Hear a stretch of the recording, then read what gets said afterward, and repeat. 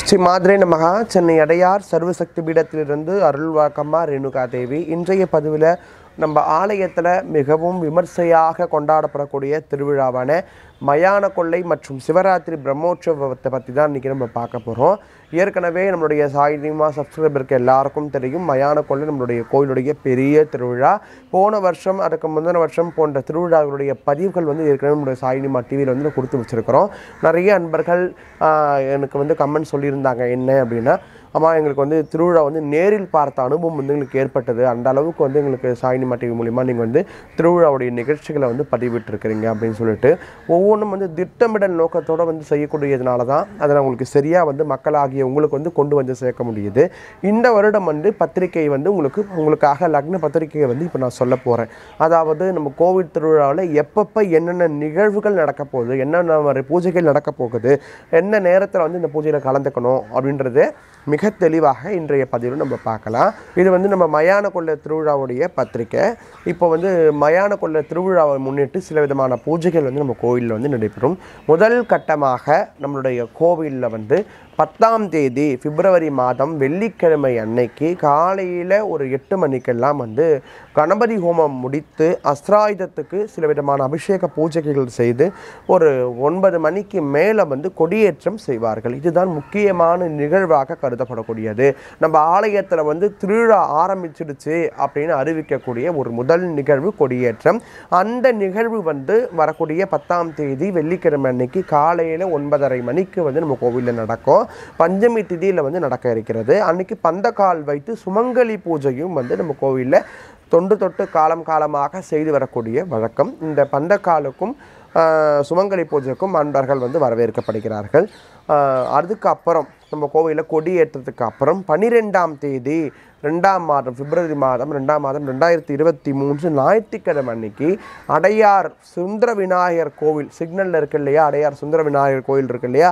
அங்கேருந்து பால்குடம் வந்து புறப்படும். அதுக்கு முன்னாடி அம்பாளுக்கு முதல் முதல்ல தாய் வீட்டு வரிசை அடையார் மல்லிகை பூநகரில் இருந்து வந்து சுவாமிக்கு வந்து தாய் வீட்டு வரிசை வந்து புறப்பட்டு வரும். அதன் பிறகு பால்குடம் வந்து சிக்னல் விநாயகர் கோயிலேருந்து சுந்தர விநாயகர் கோவிலேருந்து தொடங்கி அதுக்கப்புறம் ஆலயம் வந்து வந்தடைந்து சுவாமிக்கு ஒரு பத்து பதினோரு மணி அளவில் அபிஷேகம் வந்து பாலாபிஷேகம் பால்குட அபிஷேகம் வந்து ந- நடைபெறும். அதுக்கப்புறம் பக்தர்களுக்கு அன்னதானம் வழங்கி பிரசாத விநியோகம் நடக்கும். இது வந்து பல அன்பர்கள் வந்து நம்ம கோயிலில் பால்குடம் வந்து எடுத்து ரொம்ப காலமாக வந்து பூஜைகள் செய்திருக்கிறாங்க. ரொம்ப விசேஷமான நாளும் கூட இந்த பால்குடம் எடுக்கக்கூடிய நாள். அதுக்கப்புறம் வந்து பார்த்தீங்க அப்படின்னா பதினேழாம் தேதி ரெண்டாம் மாதம் ரெண்டாயிரத்தி இருபத்தி மூன்று மாசி ஐந்து வெள்ளிக்கிழமை அன்னைக்கு காலையில் ஒரு ஒன்பது மணிக்கு பதிவிலக்கு வர்ணித்தல். அதாவது நம்ம அம்மனை வந்து ஒரு ப களிமண் மாதிரி வந்து உருவம் செய்து அந்த உருவத்துக்கு மேலே வந்து நம்ம அம்பாளுடைய திருவிளக்கை வைத்து அந்த விளக்கில் வந்து விநாயகர் முதல் எண்ணாயிரம் தேவர்களையும் வந்து வர்ணித்து அம்பாளையும் வந்து வர்ணித்து உத்தரவு கேட்பாங்க. ஏன்னா வந்து என்ன வாக்கு வேணாலும் பொய்யா போயிடும். விளக்கு சொல்லக்கூடிய வாக்கு என்றைக்குமே பொய்யாகாது. நெருப்பு வந்து நம்மளுக்கு என்றைக்கும் பொய் சொல்லவே சொல்லாது. அந்த விளக்கில் வந்து ஒளி விளக்கில் அம்பாளுடைய உத்தரவு கேட்கக்கூடிய நிகழ்வு தான் பதிவிளக்கு வர்ணித்தல் அப்படின்னு சொல்லி பூசாரிகள் வந்து செய்து கொண்டிருக்கக்கூடிய ஒரு நிகழ்வு. இந்த நிகழ்வு நம்ம கோவிலில் பதினேழாம் தேதி அன்னைக்கு வெள்ளிக்கிழமை அன்னைக்கு கோவிலில் வந்து நடைபெறுகிறது. காலை ஒன்பது மணிக்கு. அதுக்கப்புறம் அப்படின்னு பார்த்தீங்கன்னா சாயந்தரம் நாலு மணிக்கு பெசன் நகர் பீச் எலியர்ஸ் பீச்சுன்னு சொல்லுவாங்க. நிறைய பேருக்கு தெரியும். அன்னை வேளாங்கண்ணி சர்ச்சுக்கு பக்கத்தில் இருக்கக்கூடிய இடத்துல இந்த போலீஸ் பூத் இருக்கும். அந்த வேளாங்கண்ணி போகிறதுக்கு முன்னாடி சென்டரில் பீச் சென்டரில் வந்து போலீஸ் பூத் இருக்கும். அதோடைய நேர் பகுதியிலே கடற்கரை கிட்ட அந்த அலை வந்து போகக்கூடிய இடத்துல நம்ம கங்கை திரட்டுதல் அப்படின்னு ஒரு நிகழ்வு செய்வோம். கங்கை திரட்டுதல்னா என்னம்மா அப்படின்னு கேட்டிருக்கிறாங்க நிறைய அன்பர்கள். ஒரு மண் கலையத்தில் தீர்த்தம் ஏதாவது கோயில் குளத்துல தீர்த்தமோ இல்லை கடல் தீர்த்தமோ எடுத்து அந்த கிரகத்தை வந்து வேம்பால் மற்றும் புஷ்பங்களால் அலங்கரித்து அன்னை அங்காள பரமேஸ்வரியும் பெரியாண்டவர் சுவாமியும் வந்து அந்த இடத்துல வந்து வர்ணித்து அந்த கர கரகத்தில் வந்து அவங்கள உட்கார வச்சு அந்த கரகத்தை அவங்களுடைய உருவமாக பாவித்து அந்த இடத்துல கங்கையிலேருந்து வரக்கூடிய குமார மக்கள்லாம் குளித்து காப்பணிந்து நிறைய அன்பர்கள் வந்து அந்த இடத்துல தாள் போடுறது அக்னிச்சட்டி எடுக்கிறது போன்ற விசேஷங்கள் வேண்டியிருப்பாங்க. அதெல்லாம் பெசநகர் மய நம்ம பெசநகருடைய இந்த பீச்சில் எலியட்ஸ் பீச்சில் போலீஸ் பூத்துக்கு நேராக இருக்கக்கூடிய பகுதியில் இருந்து தொடங்கி நம்ம ஆலயத்துக்கு வந்து அந்த கரகம் கங்கை திரட்டி அழைத்து வருதல் அப்படின்னு ஒரு நிகழ்வு வந்து நடக்க இருக்கிறது.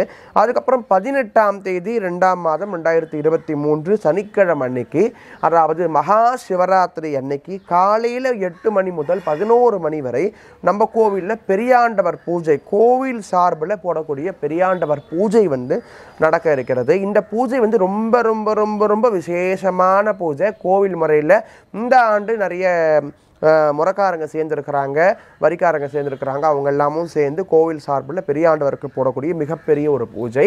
சென்னையில் ஒரு பெரியாண்டவர் பூஜை நடக்குது அப்படின்னா அது நம்ம கோவிலில் மட்டும்தான். அந்த பூஜையை வந்து எல்லாரும் வந்து கலந்துக்கணும் அப்படின்னு நான் வந்து கேட்டுக்கிறேன். குறிப்பிட்ட நேரம் காலை எட்டு மணி முதல் பதினோரு மணி வரை பெரியாண்டவர் பூஜை நடக்கிறது.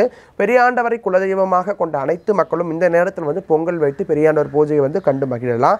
அம்மா நீங்கள் வந்து சொல்லியிருக்கிறீங்க அப்படின்னு சொல்லிட்டு இந்த நேரத்தில் வந்தீங்க அப்படின்னா உங்களுக்கு பூஜைகள் சரியாக இருக்கும். மற்ற நேரத்தில் வந்தீங்கன்னா நீங்கள் வெயிட் பண்ணி பார்க்குற மாதிரி இருக்கும். நான் சொல்லக்கூடிய நேரத்தில் நீங்கள் சரியாக வரீங்க அப்படின்னா அந்த குறிப்பிட்ட நேரத்தில் சுவாமியை தரிசனம் பண்ணுறதுக்கு உங்களுக்கு ஏதுவாக இருக்கும். அதை தெரிந்து கொள்ளத்தான் இன்றைய பதிவு.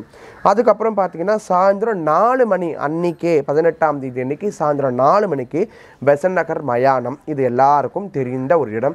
இந்த இப்போ வந்து விஐபி மயானம் மாதிரி இருக்க இந்த மயானம். அந்த மயானத்தில் இருந்து அம்பாளுக்கு வந்து கபால பூஜை போட்டு ஹரிச்சந்திரனிடமும் அங்கே இருக்கக்கூடிய பைரவரிடமும் உத்தரவு வாங்கி அங்கே பொங்கல் வைத்து படையல் வைத்து பூஜை செய்து அந்த இடத்துலேருந்து உருமண் எடுத்து வர்றது.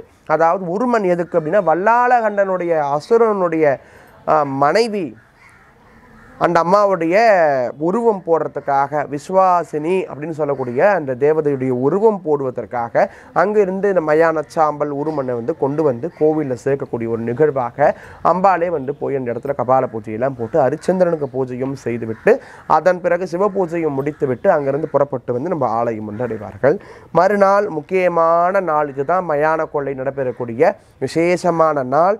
மாசி ஏழாம் நாள் பத்தொம்போது ரெண்டு ரெண்டாயிரத்தி இருபத்தி மூன்று ஞாயிற்றுக்கிழமை அன்னைக்கு நடக்கக்கூடியது. இந்த மயான கொள்ளை பிரம்மோற்சவத்துடைய முக்கியமான நிகழ்வு.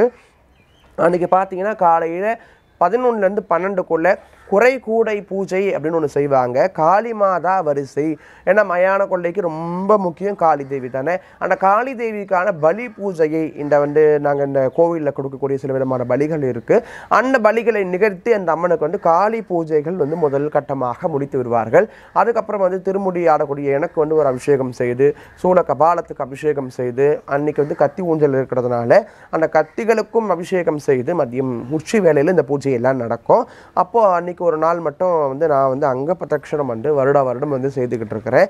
சுமங்கலிகளோட பதினோரு சுமங்கலிகள் வந்து புடைய சூழ மஞ்சள் நீராடி அம்மனுக்கு அங்க பிரதட்சணம் செய்து முடித்ததுக்கு பிறகு எனக்கு வந்து முடி கட்டுவாங்க. முடி கட்டுறதுனா என்ன அப்படின்னு கேட்பீங்க சுவாமி அலங்காரம் வந்து செய்வாங்க. மயான கொள்ளைக்கான சுவாமி அலங்காரம். சென்ற ஆண்டு பதிவு பார்த்துருந்தீங்கன்னா அதில் தெரியும். அந்த அம்பாளுடைய வேடத்தை போடக்கூடிய நேரமாக அது இருக்கும். அது பிறகு மாலை ஐந்து மணி அளவில் அதே அடையார் சுந்தர விநாயகர் ஆலயத்தில் இருந்து சுவாமியை வந்து தேரில் சிங்காரித்து அலங்காரம் பூ அலங்காரோட வான வேடிக்கைகள் முழங்க தாள மேளங்கள் முழங்க மின் விளக்கெல்லாம் ஒளிர அம்பாளை வந்து ரொம்பவும் அற்புதமான முறையில் வந்து சிங்காரித்து பம்பை உடுக்கை ராஜ மேளம் வந்து அதிர அந்த அளவுக்கு அந்த இடத்துல விசேஷமான பல விதமான மேல தாளங்கள் வந்து ஒழிக்கும் அலங்கார விளக்குகள் இருக்கும். இந்த அக்னி பந்தல்லாம் சுற்றி ரொம்ப விசேஷமாக தேர் வந்து அந்த இடத்துல இருந்து புறப்படும். அப்போ சுவாமியை வந்து வர்ணித்து அந்த இடத்துல இருந்து மல்லிகை பூநகர் அருணாச்சலபுரம் அதுக்கப்புறம் ராமசாமி தோட்டம் பொன்னியம்மன் கோவில் ஆர்எஸ் காம்பவுண்ட் வழியாக பெசன்ட் அவென்யூ ரோட்டில் இருக்கக்கூடிய நம்ம ஆலயத்துக்கு வந்து அம்பாள் வந்து நம்ம ஆலயத்தை வந்து வந்து அடைந்து விசுவாசனி வதம் அப்படின்னு சொல்லக்கூடிய இந்த படுகள நிகழ்வு அதாவது படுகளத்தில் இருக்கக்கூடிய விசுவாசனியை குடல் கிடைத்து சிவபெருமான் குழந்தையாக உள்ளே இருக்கிறார் இல்லையா? அந்த வயிற்றில் அந்த சிவபெருமானை காப்பாற்றி எடுத்து அந்த விசுவாசினி வதம் செய்து வல்லாள பட்டணத்தையே அழிக்கக்கூடிய மயான சூறையிடுதல் அப்படின்னு ஒரு நிகழ்வு வந்து அந்த இடத்துல நடைபெறும். கபாலத்தை வந்து அழித்த தினமாக அது வந்து கருதப்படுகிறது. கருவாதின பூரண அமாவாசை மாசி அமாவாசை என்று நடைபெறக்கூடிய ஒரு முக்கியமான திருவிழா. நிறைவு நாளான அன்று அந்த படுகளம் விசுவாசினி வதம் முடிந்ததுக்கு அப்புறம் பார்த்தீங்க அப்படின்னா எட்டு மணிக்கு மேலே காப்பெல்லாம் கழட்டி கும்பம் இடுதல் அப்படின்னு ஒரு நிகழ்வு. அம்பாளுக்கு வந்து அசைவ உணவு வந்து பிரிய இல்லையா கால் இல்லையா? அதனால் அவளுக்கு வந்து இந்த சாதம் வந்து படிக்கணக்கில் வந்து கொட்டி எல்லா விதமான அசைவ படையிலையும் வந்து நாங்கள் படையில் போட்டு மாவிளக்கு ஏற்றி வச்சு காளியை வர்ணித்து பலி கொடுத்து காளியை வர்ணித்து நம்ம பலி கொடுத்து அம்பாளுக்கு வந்து பூஜைகள் அந்த இடத்துல கும்பம் இடுதல் அப்படி ஒரு நிகழ்வு இருக்கும். இது நடுவில் வந்து உதிர சாப்பாடு வாங்குறது. குழந்தை இல்லாத அன்பர்களுக்காக உதிர சாதம் வழங்குதல் புத்திரக்கனி வழங்குதல் போன்ற பல நிகழ்வுகள் வந்து இந்த கோவிலில் நடக்கும். அதை பற்றின தனித்தனி பதிவுகளாக நான் கொடுக்குறேன்.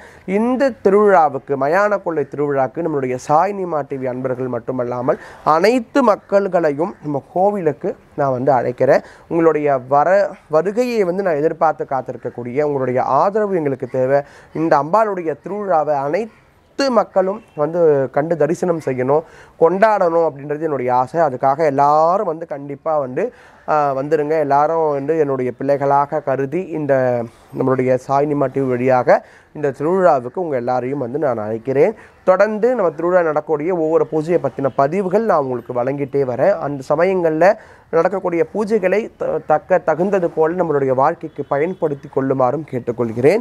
மிகவும் விசேஷமான திருவிழா பிரம்மாண்டமான திருவிழா. கண்டிப்பாக எல்லாரும் கலந்துக்கங்க. அம்பாலூரில் எல்லாருக்கும் இருக்கும். நன்றி. சிவாய நம்ம